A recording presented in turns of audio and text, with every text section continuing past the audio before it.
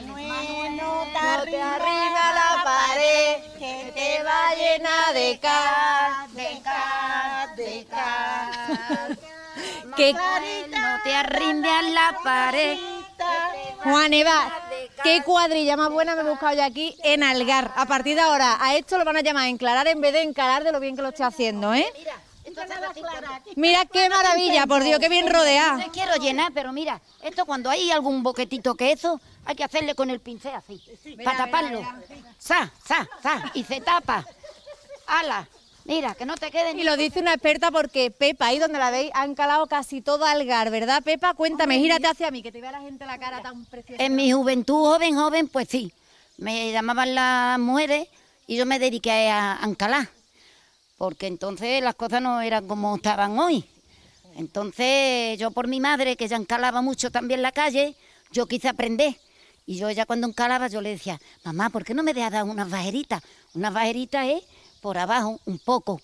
Ya todo el teso no, pero a poco a poco ya me casé, pero era muy jovencita y ya empecé yo a encalar la calle. ¿Cómo se encala en los pueblos blancos de Cádiz? Cuéntale para que todo el mundo sepa cómo es la cal, Pues cómo mira, era la cal. Pues mira, la cal de hoy no es como la de antes.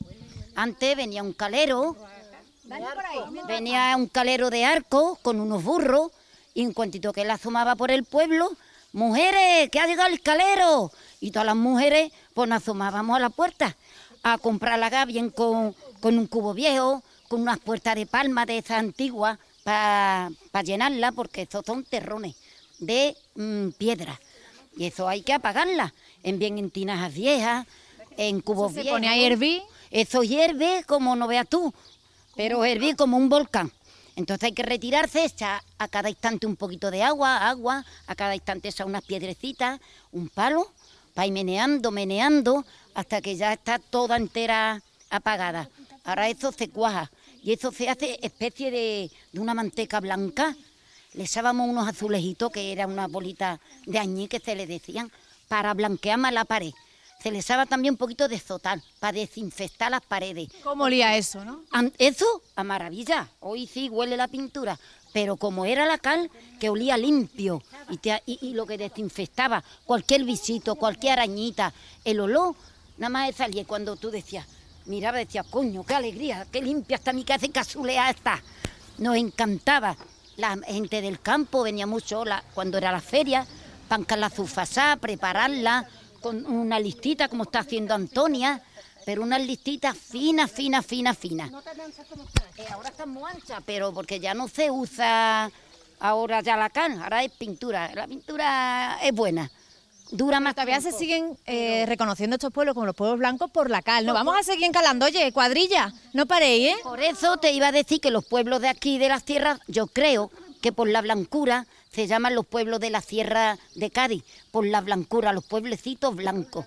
Yo creo que por eso, porque era todo cal, no había colorines ni había nada, ni zócalos como hay hoy, todo fachadas pintadas y eso decía cal y encalá, no íbamos a pintar, íbamos a y sus bajeritas por los niños, los, los manotacitos de los niños, los refilones de las sillas. Y entonces decíamos hoy, hoy me toca de dar las bajeritas a la casa. Pues se retiraba todas las cositas. Toda la primavera, ¿verdad? Se encalaba, ¿no? No, era, era en el verano, porque y en el verano hacía mucha calor. Cuando llegaba la feria, me dice por ahí. Claro, en todo, en todo eso.